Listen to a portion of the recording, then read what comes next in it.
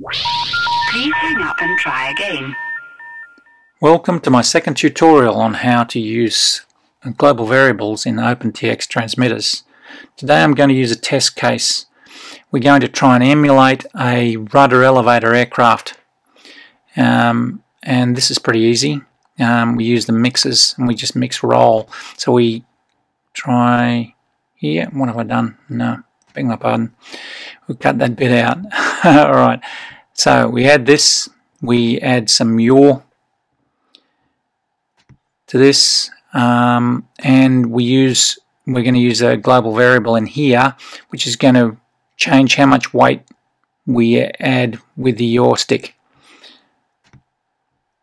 Next thing we need to do is go over here and create a custom input and I'm going to call the custom input GV1 because that makes it easy. This, this is going to be the input from uh, pot 1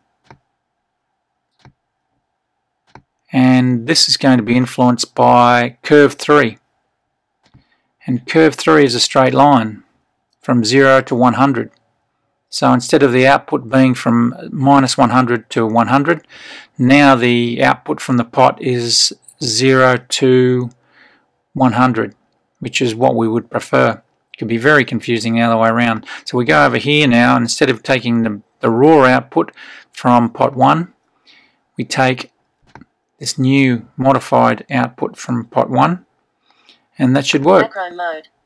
And here we go, let's have a look at, it should be 50%, it's 50%. So that's the output from that pot. If we vary this, as you can see, it varies the value of global variable 1.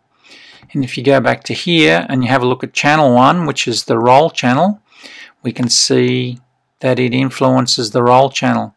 We can turn it off by just taking it around to 0 or thereabouts. That's close enough to zero. Whoops. There we go.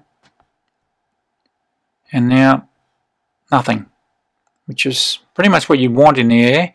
You want to be able to turn it off. You can turn it off with a switch, but turning it off with a pot or varying it with a pot is much friendlier. And you'll be able to get it just right. Alright, I hope that's been useful. And I'll see you soon in part 3. Bye for now.